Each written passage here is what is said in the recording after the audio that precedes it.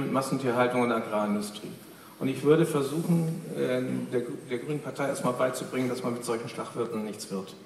Äh, dass das nicht funktioniert, dass das ganz viele Menschen sind, die sich bemühen, einen sehr guten Job zu machen.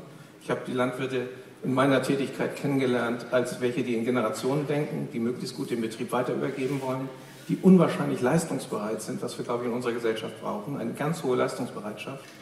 Und äh, das vor allen Dingen ist Landwirte sind lösungsorientiert. Und äh, deswegen tut mir das so weh, wie Herr Habeck versucht hat, mich hier heute hinzustellen oder den Bauernverband, dass wir Bunkermentalität hätten und nur blockieren würden. Das stimmt nicht. Wir haben Vertragsnaturschutz mit initiiert.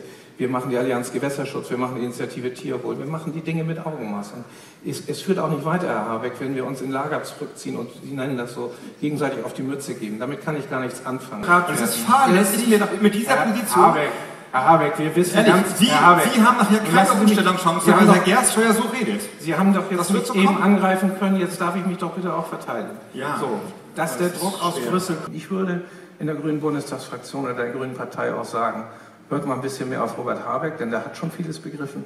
Und ich würde außerdem sagen, hört auf, in, in Lagern zu denken und mit Schlagworten die Landwirte zu belegen. Gelder, das, das fördern wir ja, Herr Luft. Das fördern wir ja. In der, in der zweiten Säule, die ihr Hallo, habt, Leute, wir sind wollen die Gelder alle da. und nicht sind die. Gelder alle da. Wir fördern das. Wir fördern kleinen das. Gang runter. Wir diskutieren in Kiel in vielen Gruppen über mehr Tierwohl, mehr Tierschutz und versuchen gemeinsame Wege zu finden. Wenn Sie aber Mitte Januar in Berlin Schulter an Schulter mit denen demonstrieren, die ganz gegen die Tierhaltung überhaupt sind, dann haben unsere Bauern dafür kein Verständnis. Ich meine das ganz ernst. Wird, wird der Interesse der Landwirtschaft recht getan, indem man die Debatte negiert? Nein, das tun Und wir das, doch, Herr Gersteuer, das Das tun tun Das wir haben Sie ja die ganze Stunde getan. Herr Habeck, haben wir, eine, haben wir eine Allianz zum Gewässerschutz? Arbeiten wir da zusammen? Ja, das Aber ist nicht auch das Problem, ist grundsätzlich, wenn Sie es auch grundsätzlich angehen, bei der Naturschutzgesetzgebung, dass es zwei Störfaktoren gibt, die Landwirtschaft und den Menschen. ja, Also ich persönlich zum Beispiel, ich habe Kinder, ich, ich habe Kinder, ich würde nie behaupten, dass ich und die meinen Störfaktoren sind. Ja. Das unterstellt, dass Naturschutz nicht für den Menschen ist. Also das ist Quatsch. Also ich höre da ganz, Ich meine, wir, wir höre da ganz ja- wenig von Menschen die Rede und ganz viel von Naturschutzgesetz. Ja. Ja, weil es ja Naturschutzgesetz heißt. Aber ist der Mensch Teil der Natur?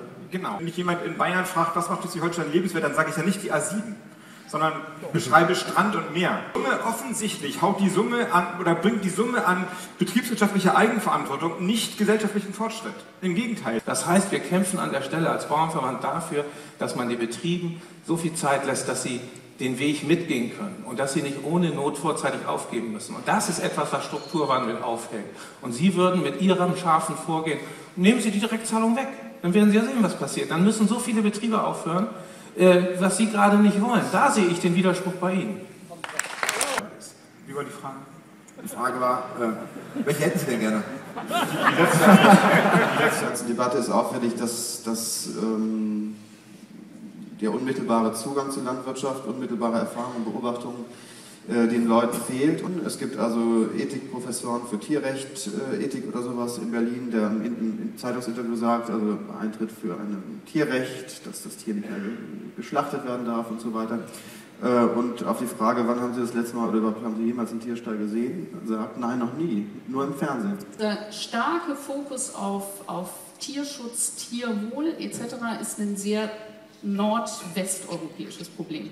Fangen wir mal an, ein bisschen gröber das zu machen. Es ist in den ähm, äh, östlichen, südlichen Staaten mit Landwirtschaft sehr viel stärker als, als zentrales Element für ländliche Räume gesehen, was wir zum Teil unterschätzen. Was ein rein deutsches Problem ist oder eine rein deutsche Debatte ist, glaube ich, dass äh, diese Wahrnehmung von wegen die Kleinbetriebe sind die Guten und die Großbetriebe sind die Bösen. Wir haben gemeinsam mit dem Lebensmitteleinzelhandel die Initiative Tierwohl auf den Weg gebracht, weil wir gesagt haben, wenn der Landwirt was mehr tut, dann muss er es bezahlt kriegen, damit er im Wettbewerb bestehen kann, damit wir die Marktanteile behalten und sie nicht verlieren. Und insofern arbeiten wir an, an, an pragmatischen Lösungen, zu mehr Tierwohl zu kommen. Kann keiner bestreiten. Ja, das finde ich super. Kann ich nur, ähm, kann ich nur unterstützen. Das ist eine, eine genau, wirklich genau in die richtige Richtung. Ähm, die Frage, die ich habe, ist die Initiative Tierwohl, die also mit 200 Millionen unterstützt wird, ist so, ich schätze mal, für 15 Prozent der Betriebe in Angebot. Wenn das sozusagen die letzte Antwort ist, dann wird irgendwann der Markt genau die Initiative Tierwohlstandards und vielleicht noch ein paar mehr als Standard definieren dann ist das, was Gesetz ist, Gesetz. Und dann wird der Einzelhandel sagen, ihr produziert doch hoffentlich gesetzeskonform. Und dann haben sie wieder kein Geld.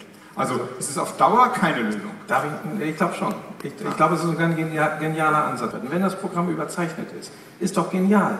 Dann ist der Lebensmitteleinzelhandel unter einem massiven Druck, weil er dann Farbe bekennen muss, ob er bereit ist, mehr Geld zu geben für mehr Tierwohl oder ob er nicht bereit ist dazu. Und dann kriegen wir genau den Zahlungsstrom organisiert, den Herr Gossart will dass, der, dass die, der Lebensmitteleinzelhandel sich dem Verbraucher präsentieren kann und sagt, ja, wir verdoppeln das Programm, wir vervierfachen es auch, weil wir sehen, dass die Bevölkerung es will. Und wenn die das nicht tun und Sie dann meinen, für die letzten 20 Prozent oder 40 Prozent der Arbeit muss dann das Ordnungsrecht kommen, dann sage ich Ihnen eins, dann war das die letzte Initiative, die wir als Bauernverband begonnen haben. Ich, dieser starre Mechanismus, also da wird gebaut, entweder direkter Flächenausgleich oder Geld und dann wird was rausgekauft auch weil wir jetzt an der Grenze sind oder Sie wahrscheinlich überschritten haben, dass wir auch hochproduktive Flächen rausnehmen als Kompensation. Der wird irgendwann überführt werden müssen in andere Mechanismen. So in 20 Jahren oder sowas, vielleicht auch schneller, in 10 Jahren, wird man wahrscheinlich integrierte Mechanismen, hoffe ich jedenfalls, gefunden haben. Jedenfalls kann ich mir das gut vorstellen, dahin zu arbeiten. Das, aber das schaffen wir jetzt bei dieser, weder bei der Landesnaturschutzbehörde noch bei der Düngeverordnung jetzt nicht ich komme nochmal darauf, weil die letzten 15 Jahre sich immer nur auf die Mütze gehauen wurde und nicht versucht wurde, neue Lösungen zu finden. Ich wünsche mir eine Landesregierung mit einem Minister, der für unseren Bereich zuständig ist, wo die Bauern auch das Empfinden haben, der steht an unserer Seite, der steht hinter uns.